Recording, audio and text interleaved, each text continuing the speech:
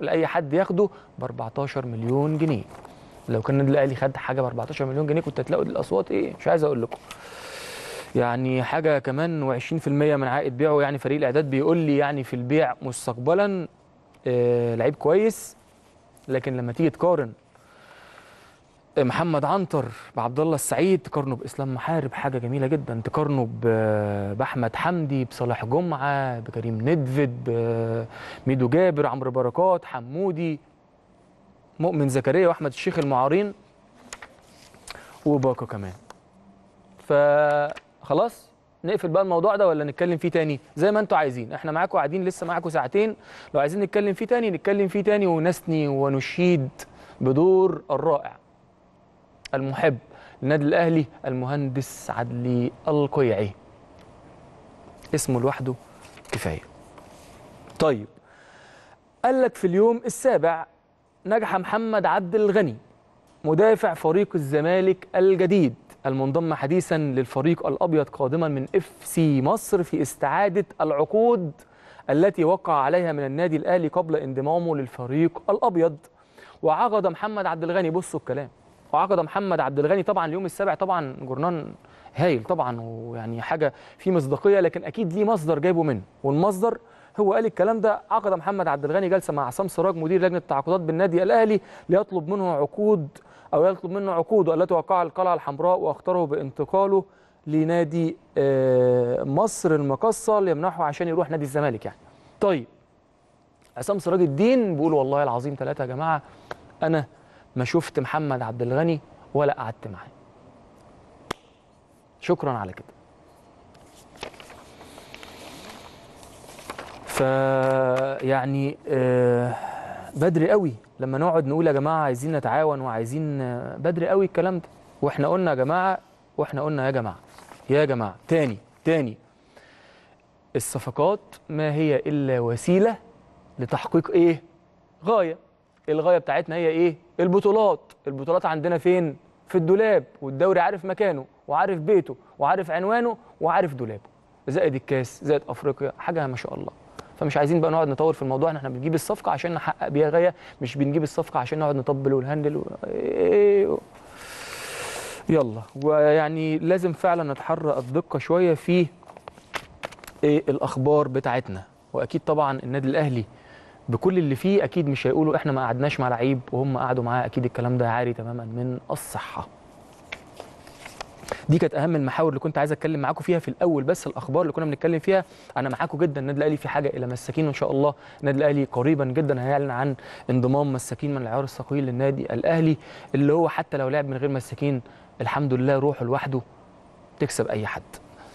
طيب نروح بقى لمشروع الكابتن الأسطورة كابتن محمود الخطيب أو برنامج العائلة اللي بدأ تنفيذه من اليوم. عندنا طبعا آه، أكيد الكابتن محمود الخطيب عايز يطور كل مؤسسات النادي الأهلي في جميع الفروع. عشان كده هقول لكم المشروع اللي عمله النهارده أو آه، يعني آه، وقع عقوده النهارده حاجة جميلة جدا. كابتن محمود الخطيب في دماغه تطوير كل المؤسسات في مختلف الفروع في دماغه طبعا حلم الجماهير الأهلاوية اللي الكل بيعمل على إسعادها. وعلى ارضائها وهو استاد النادي. الأهلي إن شاء الله كمان هيكون قريب جدا هتعرفوا تفاصيل أكتر. أيضا كمان كل الجماهير بتسأل عن تطوير قناة النادي الأهلي. إن شاء الله إن شاء الله كل حاجة إن شاء الله هتكون في طريقها الصحيح بإذن الله. طيب أقول لكم على الجديد اللي حصل النهارده إن مجلس إدارة النادي الأهلي برئاسة الأسطورة الكابتن محمود الخطيب وقع ظهر اليوم بمقر النادي بالجزيرة بروتوكولا للتعاون مع جهاز المشروعات للخدمة الوطنية التابع لوزارة الدفاع قدام حضراتكم الصور في التقرير اللي قدام حضراتكم يعني حاجة جميلة جدا لما تتعامل مع جهاز ما بيهزرش في شغله ما بيهزرش في مواعيده مع نادي ما بيهزرش في وعوده هتلاقي النتيجة كلها إن شاء الله إيجابية بنسبة أو بنسبة لا تقل عن 90% وإن كانت 100% بإذن الله. شهدت فعاليات أو قام بالتوقيع من جانب النادي الأهلي الكابتن محمود الخطيب رئيس مجلس إدارة النادي الأهلي ومن جهاز المشروعات للخدمة الوطنية اللواء السيد اللواء طه سيد بدوي مفوض جهاز المشروعات. شهدت فعاليات التوقيع من مجلس إدارة الأهلي الأستاذ أو شهد فعاليات التوقيع الأستاذ العمري فاروق نائب الرئيس وخالد الدرندري اميل الصندوق وطارق انديل ومحمد الجرحي والمهندس محمد سراج الدين أعضاء المجلس والعميد محمد مرجان المدير التنفيذي والمهندس سامح كامل مستشار الإدارة الهندسية بالنادي الأهلي. في مضم وفد جهاز المشروعات كل من المهندس خالد طه مدير المشروعات بالإضافة إلى استشاري الجهاز الدكتور أيمن عاشور عميد كلية الهندسة جامعة عين شمس والدكتور شادي الزيني بكلية الهندسة جامعة الزقازيق بالإضافة إلى المهندس محمد حسين من المكتب الفني للجهاز والمهندس أحمد عبد الله منسق الجهاز. أسماء كبيرة جدا دكاترة يعني في جامعات وأساتذة في الجامعات كمان حاجة فعلا تليق بقيمة النادي الأهلي. يأتي توقيع البروتوكول في خطوة جادة من مجلس إدارة النادي الأهلي للتعاون مع جهاز المشروعات الوطنية للقيام بتطوير كافة منشآت النادي في الفروع الثلاثة في إطار خطة المجلس للاهتمام بالبنية التحتية وتطويرها.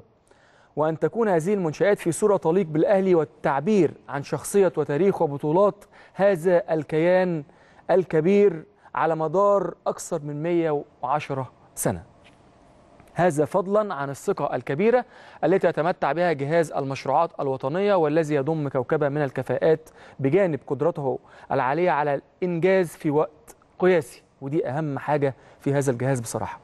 هذا ومن المنتظر أن يعلن أو يعلن النادي في فبراير المقبل عن المنشآت التي يقوم جهاز المشروعات الوطنية بتطويرها. ده كان الخبر المفرح لجماهير النادي الأهلي. إن شاء الله زي ما حضراتكم شايفين ده كان إجراءات أو مراسم توقيع البروتوكول بين مجلس إدارة النادي الأهلي وهذا الجهاز العريق يعني اللي فعلا بيوعد وينجز في أقل وقت. طبعا وعارفين طبعا إن إن كل أعماله حاجة ما شاء الله يعني حاجة تفرح جهاز أو مشروع الخدمة الوطنية للنادي الأهلي.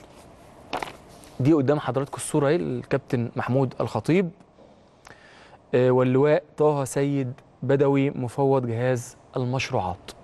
إن شاء الله وطبعا شايفين السيد العمري فاروق وكل أعضاء مجلس إدارة أو معظم أعضاء مجلس إدارة النادي الأهلي في الخلفية. إن شاء الله كل التوفيق ويكون إن شاء الله حاجة مبشرة أو بداية مبشرة لمجلس إدارة النادي الأهلي برئاسة الأسطورة بيبو. قدام حضراتكم توقيع الكابتن محمود الخطيب في أولى تنفيذ برنامجه الانتخابي برنامج العائلة اللي وعد بيه وإن شاء الله هيوفي بكل الوعود اللي وعدها لأعضاء وجماهير النادي الأهلي. وده كمان آه توقيع أهو قدام حضراتكم ديت مراسم التوقيع كلها. ده السيد اللواء طه سيد بدوي مفوض جهاز المشروعات. النادي الأهلي يا جماعة يعني لما يتعاقد مع يعني كيان كبير بحجم القوات المسلحة حاجة تفرح إن شاء الله يعملوا كل الجماهير طالباه. طيب نروح بقى لخبر تاني في